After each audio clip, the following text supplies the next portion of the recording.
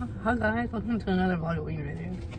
And Today, at the Culver's, they got pumpkin concrete mixers and shakes. I think this is the concrete mixer. But, I for the concrete mixer. Got a whole ton of stuff on top.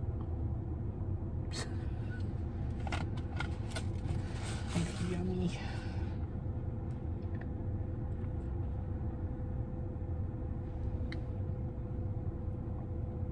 I love uh, pumpkin stuff. so you know Culver's had this.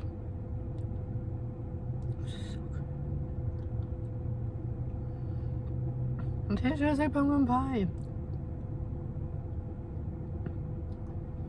A bit too much of the spice on top though.